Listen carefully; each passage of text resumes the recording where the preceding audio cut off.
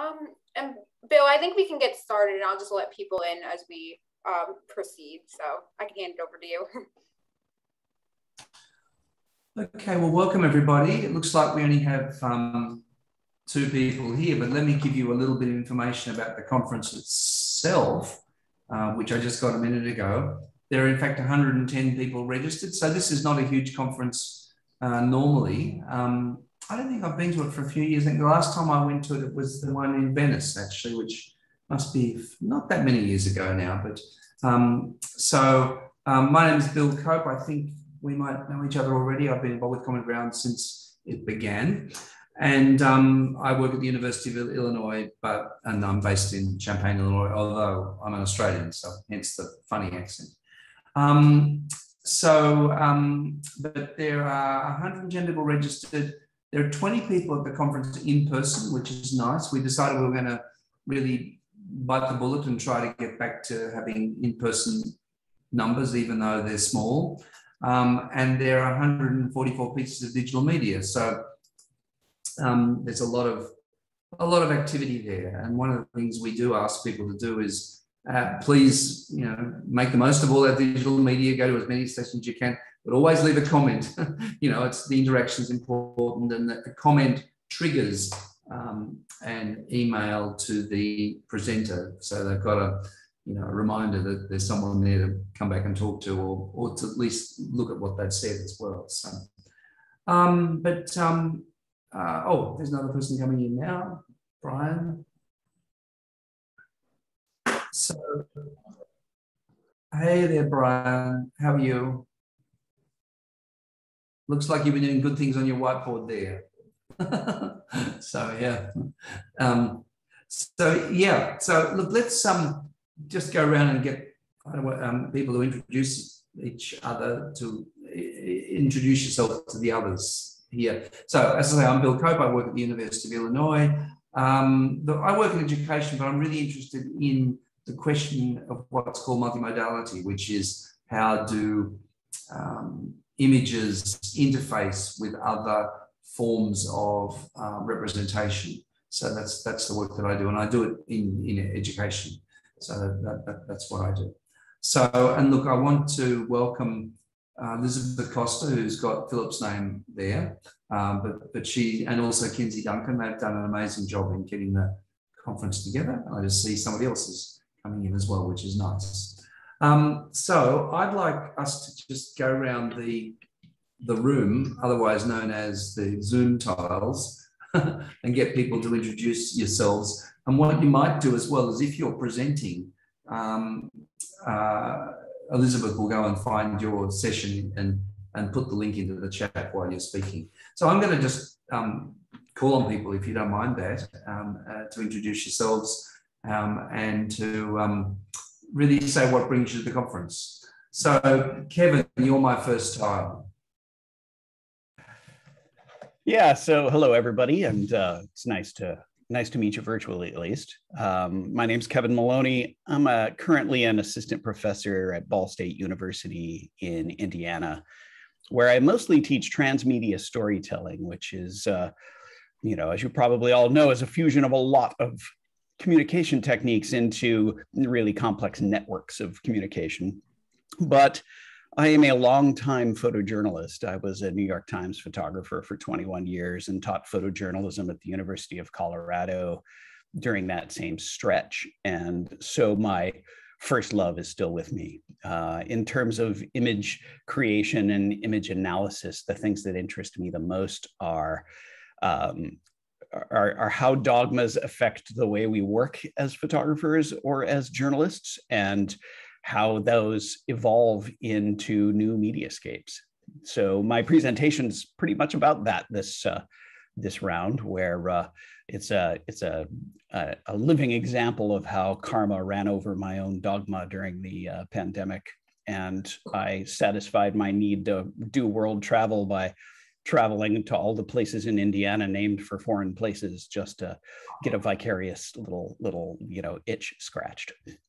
I love that idea. Actually, I must admit, I mean, I'm in the I'm in the Midwest now. I'm in Illinois, and um, and um, I love the fact there's a Paris, Illinois, and there's a uh, Lebanon, Illinois, and you go through them all. And you know the the um, who were those German pair that did the the water tanks? Um, uh, the photographers. I can't remember their names off the top of my head. I, I keep on. One fun project would be to do a foreign country's version of that uh, of water tanks. You know, uh, the Paris, Illinois water tank, and the yeah, yeah, yeah. Ah, what a lovely thing. So yeah, well, great to to, to see that. And um, um, oh yeah, that's right. That's right. It's the Bechers. You're absolutely right. Yeah, yeah, yeah. David, you're a familiar person. Great to see you again. Yeah, no, I, I love I'm a bit of a regular at the Image Conference. I think I've missed. Uh, I missed Venice. Oh, and uh, you know uh, maybe one or two others, but you know I've done quite a few of the Image Conference. I uh, I'm on the advisory panel, and I did a little um, video for the uh, advisory panel, the last or, or, the last session, the session in Manchester, I think, um, as a member of the advisory panel, and I said that um, I said that I really uh, the image conference interested me because it seemed I've, I've, worked in art, uh, design uh, since I was a kid.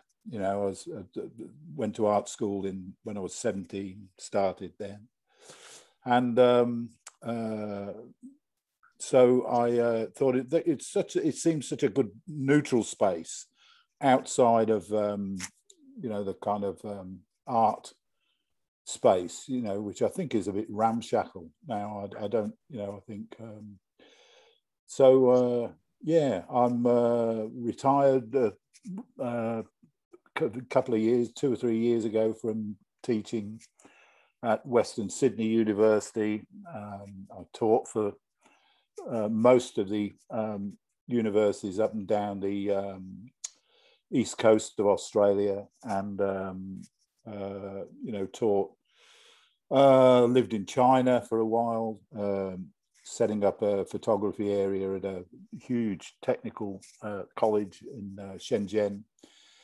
uh, in China. And, um, you know, I've, um, yeah, so I've worked with photography for years. I write about photography now. And um, yeah, that's, that's where I'm at.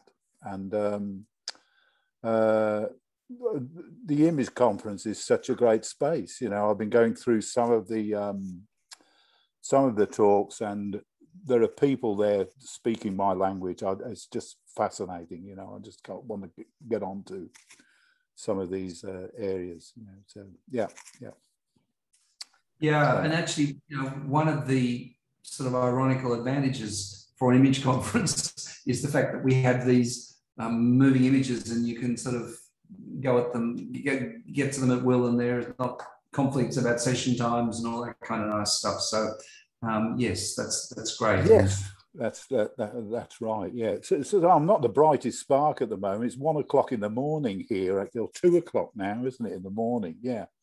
Amazing. Australia, yeah. I'm I'm impressed. So um, wonderful that you're here.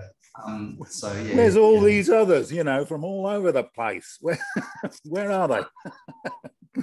yeah, we get what well, we get. We usually get a handful to these informal sessions. Uh, we get a lot more to the formal sessions, obviously, and and by the time you know people have gone around and you know, we've got this little engagement meter, which is the people who've been to each page, um, and um, you know, please you know, go to as many sessions you can and leave comments. That's what I'm, yeah, I'm yeah. like a broken record. I keep saying.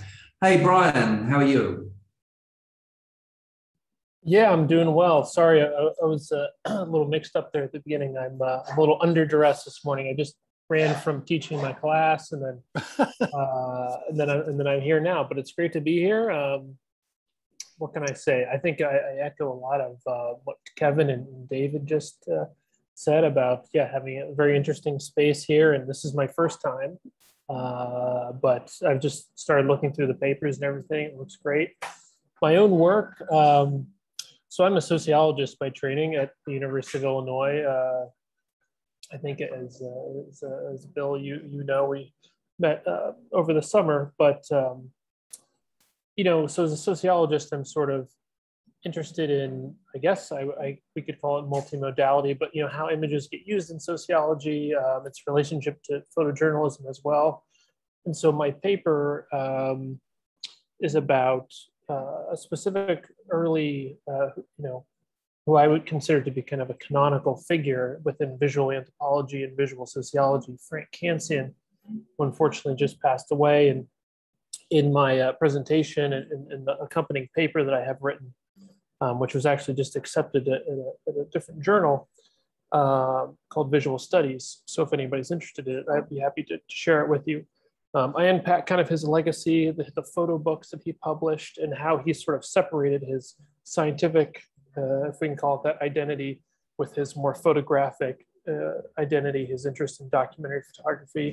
Um, and, you know, I think it's an interesting thing for, for someone such as myself or someone in the social sciences and humanities who is interested in making images engaging in the world in that way, confronting the world uh, through making imagery, um, but uh, also has, you know, sort of a, a cleft or, or dual identity with more uh, also scientific aspirations as well. So that's kind of with the broad strokes. Thanks. Fantastic. Wonderful, wonderful, wonderful. Well, um, yeah, yeah, yeah. That sounds like lots of crossovers between these presentations, obviously, too, which is very, very nice. The next person I have as I go across my tiles is uh, Ayana. Have I got that right? Yes, it's correct.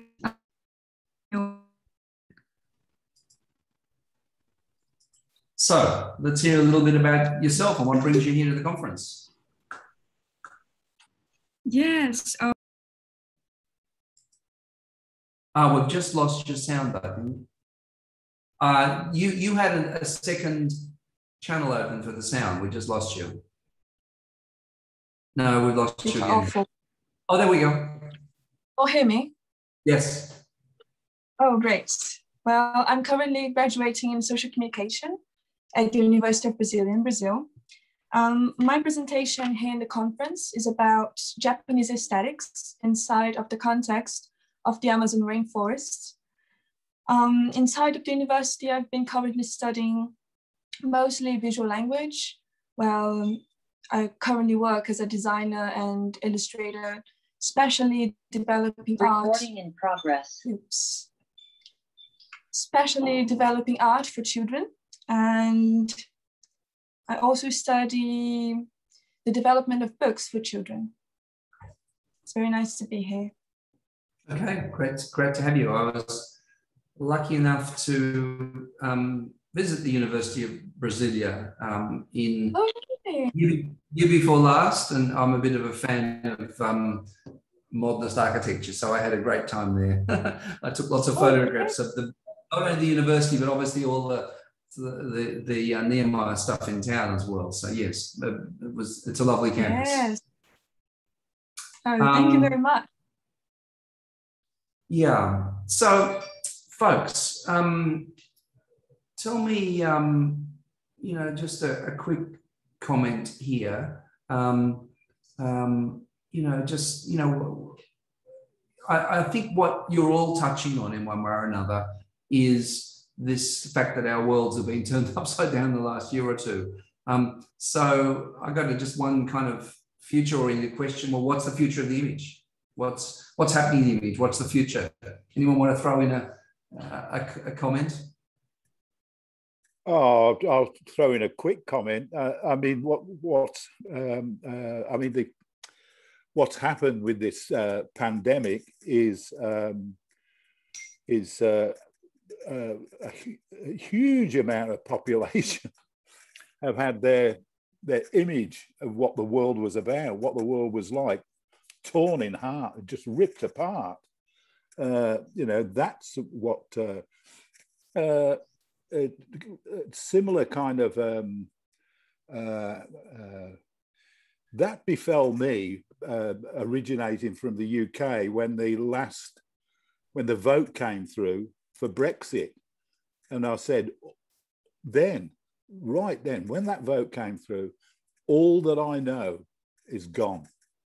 I was, you know, furious about it because um, it had, uh, you know, I was happy, more than happy, uh, being uh, a European, being a global citizen, which is what I naturally am. And I think probably most of the people listening now would feel that uh, uh, uh, a sense of themselves more as a, a global citizen than uh, you know this um, these kind of nation states you know that we've come to. But it, it's when you get uh, so it's it's when it, it's when people's reality are really torn to shreds, and that's that image that we see. Right. This is what the world is. That's our reality. That image is our reality. Yes. Right. Yes. Yes. And you know, in a way, in the last since this pandemic, we've become more reliant on images um, than ever before. And I think Kevin, Kevin that's exactly the point that, uh, in, in, in an obtuse sort of way, that's the point you're making. Yes. Yeah, I think it's going to be really challenging to see how images evolve in a post-fact circumstance around the world, and you know how we understand factuality in images and our situatedness in them when we make them. So it's a uh, it's going to be a really revolutionary time to to watch and study and participate in. And somewhere between Photoshop and deep fakes, there's there's you know the images are participants in this very strange world and complicit actually, aren't they? It is. And I think one thing that's fascinating about my current sort of field of study of transmedia storytelling is the you know, a, a one possible mitigation in there in that, you know, everything can be and should be double, triple, and quadruple sourced for verification, whether it's an image or it's text or it's video, um, that, uh, that, you know, everything be, you know, honestly networked rather than, uh, than accidentally networked. Yeah, no, that's true. Yeah, yeah, yeah. Other thoughts, folks? Um, well, I was just going to chime in. I think uh, probably what David and Kevin are both mentioning, maybe implicitly, is that you know the images are, are maybe political in a way that they are never before, which I think is pretty important to to consider, just in general. Yeah. Yeah, no, that's true. That's true. Yeah, that's interesting. I think they've they've always been political. They've always been situated. They've always been loaded. And you know, if anything, the you know the nature of the internet and the current circumstances just made that rise up to be more obvious to everyone, which is you know a net good, um, even though it's uh it's it's got some distinct bad sides to it. so um Ayana, what any thoughts from from from you about that. I noticed the news item today, which um, without wanting to be political, particularly, that your fearless president Bolsonaro is is banning media outlets that that will um, that will block his things that he says, truth or not truth. I noticed that was a news a news item today. I don't know whether you've noticed that as well. But how, from a point of view, from your universe in the, the capital of Brazil, where Bolsonaro has his um, his incredibly beautiful Niemeyer Palace. Actually, um, how how are you? Um, how how do you see the, the, the future of images?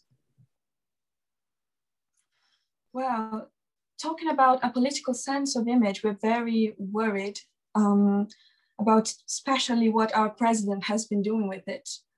Um, we've seen a lot of fake news and suddenly one image can be very powerful to change a whole country's opinion. And mostly people are not spending much time reading about these images and also and also getting informations deeper or deeper informations about these images. So we are very scared.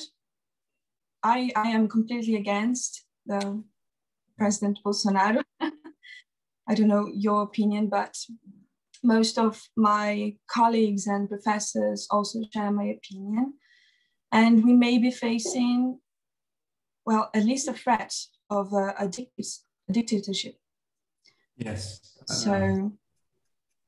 Not yeah. good times, not good times. Yeah, yeah, yeah, in so many ways. Challenging. And again, as several of the point, the points several of you made, which is images are part of this whole process as well. So yes, absolutely. Well, look, um, um, you know, what can I say other than look, thank you all for being here. Are there any questions about the conference and processes and, and anything that I need to, to ask? I mean, we've got several kind of parallel things going on. One is the conference itself at Leeds Digital Media, where you please put comments. Um, and the people, there are 20 people in Lisbon.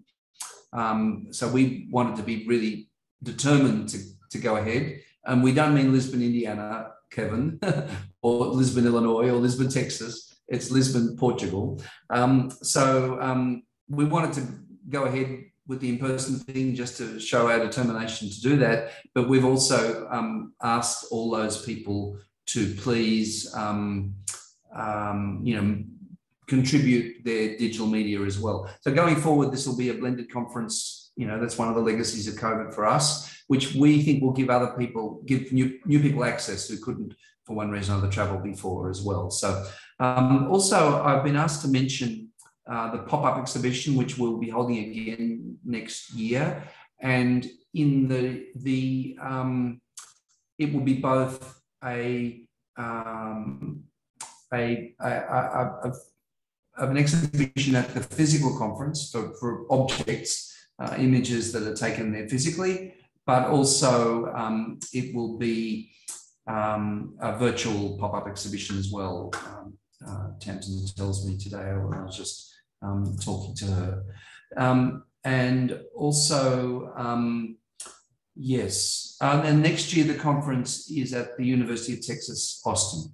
So, um, so that's where we're, we're going. We, you know, sort of we move around the world with this conference, and that's where it's going to be next year. So either we will either come virtually again or um, we'll see you there. Also, one of the things I do, a couple of things I want to mention. One is the publication process in the journal. So some of you know about that already. For us, that's a very important process of building a formal body of peer-reviewed knowledge, all with digital object identifiers in Crossref, so they become registered in the great official list of things, which is knowledge. Um, so yes, please um, that that please put in papers. And Brian, if you've already given your paper to somebody else, do a similar paper and put it into ours. Don't, it's not, you, you know, you obviously you can't republish, but, you know, one of the great tricks of academe um, is to uh, use ideas over and over again, so to speak. So you might do something which is a variation on the theme, which sticks to the theme but has different evidence or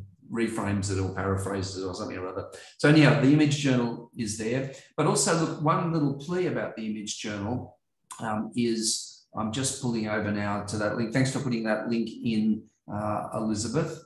Um, I am trying to get over to the the uh, browse articles now. That's why I've just taken the browse articles link. That everyone, by virtue of being a member of this, has access to the backlog of articles that have been produced over the years. And in fact, I've just looked it up. As of today, it's 386 um, digital objects, 374 articles, and there are 12 books that we've produced actually.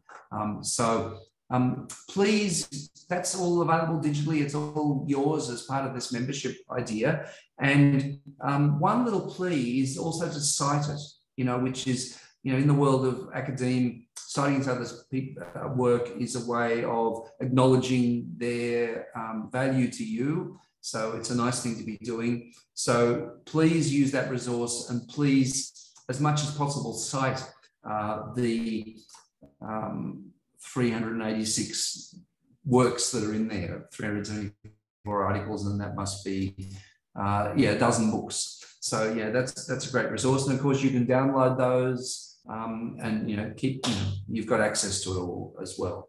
Oh yeah, there's the articles. Thank you for that, Elizabeth. Um, anything else that I need to say, Elizabeth and Kinsey, that I haven't said? No. Um, any other questions from folks or thoughts? Yeah, look, the only thing is, look, enjoy the conference, and I'm going to be a broken record, which is please leave comments.